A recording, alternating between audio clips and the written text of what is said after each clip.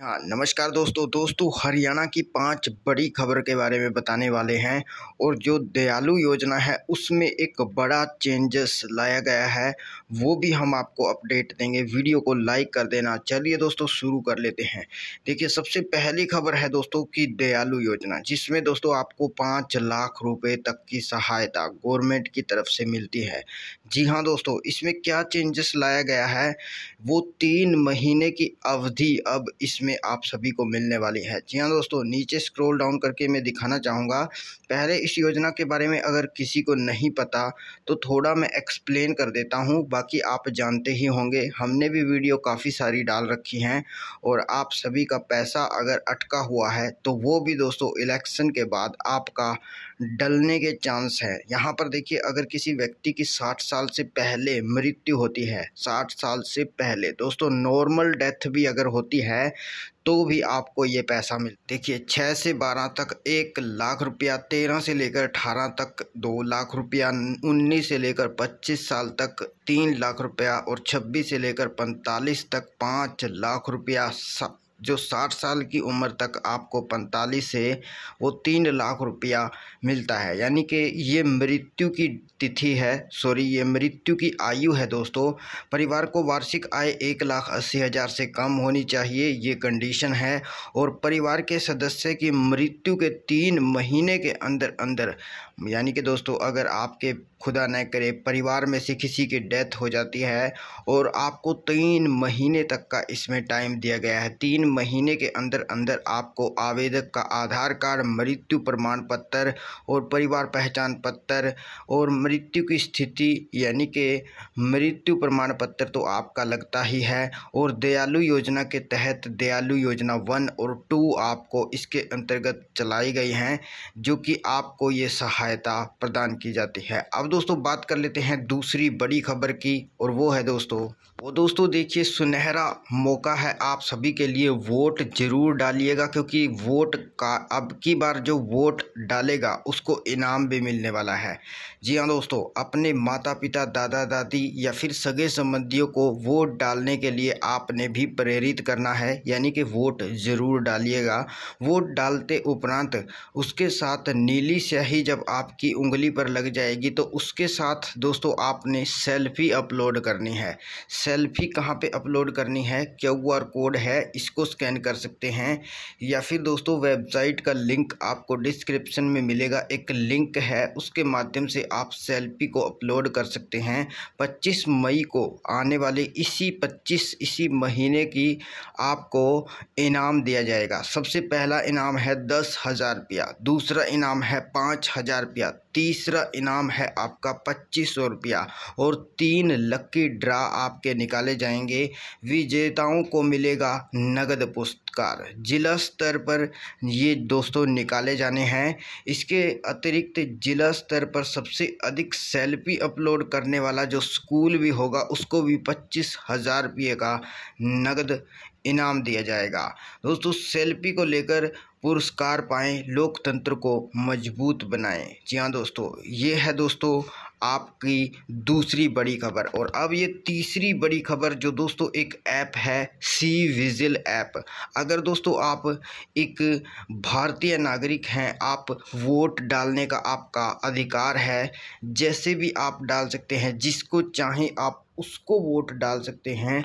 तो दोस्तों, यहाँ पर आप सतर्क रहिए, नागरिक सतर्क बने, सी विजिल का उपयोग ज़रूर कीजिएगा। सी विजिल ऐप है दोस्तों, उसको आप डाउनलोड कर सकते हैं। आदर्श आचार संहिता उल्लंघन की शिकायत आप यहाँ पे दे सकते हैं।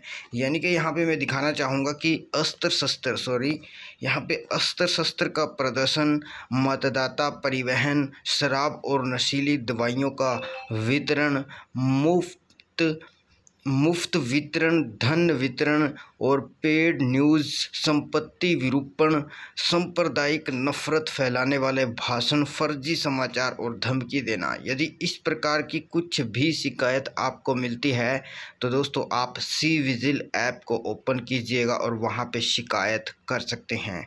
तो तीसरी बड़ी खबर ये थी, अब जो चौथी बड़ी खबर है, वो भी बता देता हूँ दोस्तों आपको।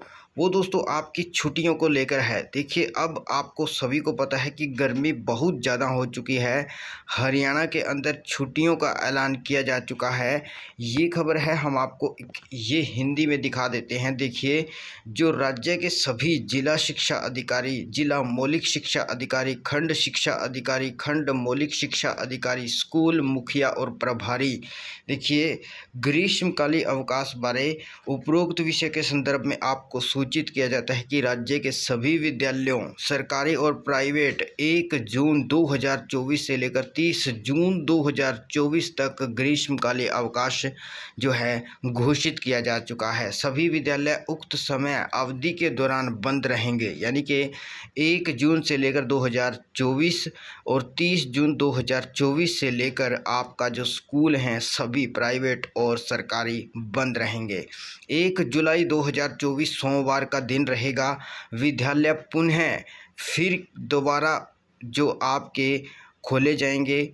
आप, आपसे आग्रह है कि, आपसे आग्रह है कि अपने अधीनस्थ सभी विद्यालयों, सरकारी, प्राइवेट में उपरोक्तानुसार अनुपालन सुनिश्चित करें। दोस्तों, ये एक नोटिस जारी हुआ है ग्रीष्मकालीन अवकाश को लेकर और हमने इसकी जो पिक्स है दोस्तों, वो आपके लिए हमने कम्युनिटी पोस्ट कर दिया था ताकि आपको पता चल जाए। उसी दिन हमने पोस्ट कर दिया था, जिस दिन ये जो न्यूज़ है वो आई थी, यानी कि परसों रात ये न्यूज़ आई थी और अब हमने वीडियो के माध्यम से भी आपको बता दिया है। और पांचवी जो बड़ी खबर है, उसके बारे में भी आपको बता देता हूँ दोस्तों, वो है, जो पांचवी बड़ी खबर है, वो राहुल गांधी जी की है। यानी कि दोस्तों, आप सभी को पता है कि भाजपा सरकार अपने अपने तरीके से प्रचार प्रसार कर रही है। वहीं दूसरी ओर राहुल जी का कहना है, यानी कि जो कांग्रेस पार्टी के लीडर हैं, पहली नौकरी पक्की।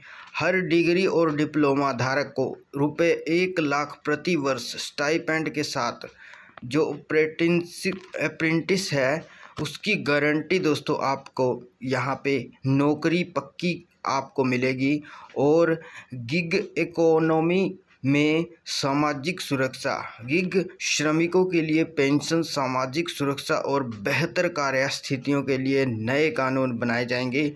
युवा रोशनी, पाँच हज़ार करोड़ के राष्ट्रीय कोष से जिला स्तर पर युवाओं को स्टार्टअप फंड देकर उन्हें उद्यमी बनाने की गारंटी राहुल जी की है। पेपर लीक से मुक्ति होगी। पेपर लीक की रोकथाम गारंटी करने वाला नया कानून जो कि परीक्षाओं का विश्वसनीय आयोजन सुनिश्चित करेगा। ये दोस्तों, भर्ती भरोसा है। तीस लाख सरकारी नौकरियों की भर्ती की जाएगी। युवा के लिए ये दोस्तों आपके लिए जो पोस्ट है वो राहुल गांधी जी की तरफ़ से डाली गई है। तो दोस्तों, ये पाँच बड़ी खबर थी हरियाणा की। वीडियो को लाइक और चैनल को सब्सक्राइब ज़रूर कर लेना और अगर आपकी फैमिली आईडी ओपन नहीं हो रही है, शो अप नहीं हो रही है तो दोस्तों, आप इस वीडियो को देख सकते हैं जो राइट साइड में अभी आई है।